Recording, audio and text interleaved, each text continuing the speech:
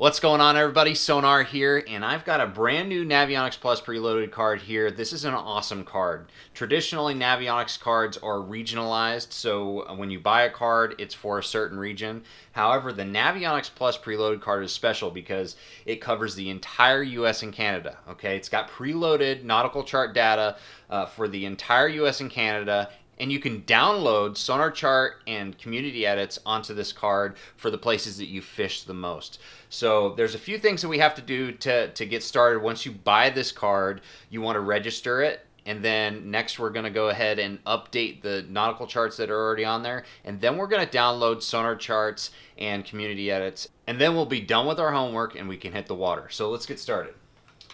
First off we're going to start on navionics.com and we're going to go to update my chart. Okay, that brings us to this page, and then we scroll down, and then we go to get up-to-date charts online, get started, and then we're going to get directed to this page right here. And uh, so essentially, when it's your first time, if you're you're uh, registering your card or updating your card for the first time, uh, you're going to have to download the chart installer program. Um, I've already got it, so I'm going to go ahead and just launch it right now. All right, as, as you can see, we've got several prompts here. Um, it, it, says be ready with card in hand, check. Uh, next, be sure to have the card unlocked. There's a little lock right here on the side. Just make sure that that's unlocked. And then it says plug in your card.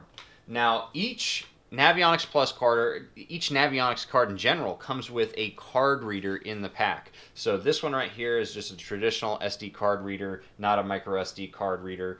And uh, so we're just going to plug that in and then plug it into the back of the computer. And the program, the chart installer, is automatically going to recognize that card.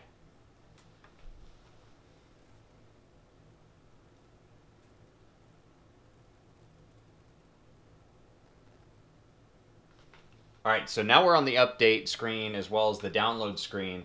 And so you've got several options. The first thing we're going to do is the, the nautical charts that are already on this card, we want to update them. We want to make sure we've got the most up-to-date data available. And so we're going to go ahead right here where it says update nautical charts. And we're going to go ahead, click that, and then start that update. And we, we're going to wait a few minutes.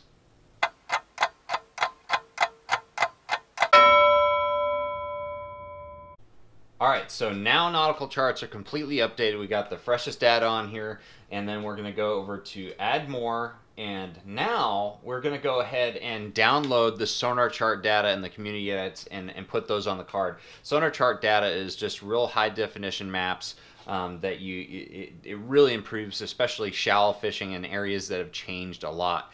And so what we're going to do is uh, you've got this little box on the screen that you can make bigger or smaller for the sake of this presentation, I'm just going to go ahead and highlight the entire state of Florida. And uh, I'm going to go ahead, click on the sonar chart and community edits. And then I'm going to go ahead and press start. And that'll start downloading the sonar charts and community edits.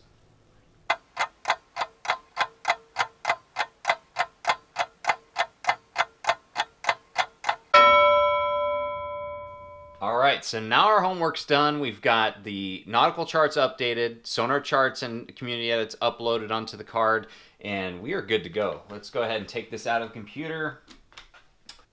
And now all that's left is to take the card out on the water. All right, so now I'm on beautiful Lake Chickamauga right now, and I'm going to plug in my Navionics Plus card and uh, and and really get the most out of its capabilities. So the first thing I'm going to do, plug in the card, okay? You're going to have the micro SD card in, in most uh, uh, current units. Plug that in. It's going to wait a second. And then it's going to ask you, do you want to uh, go ahead and select Navionics charts? And of course, you're going to say yes.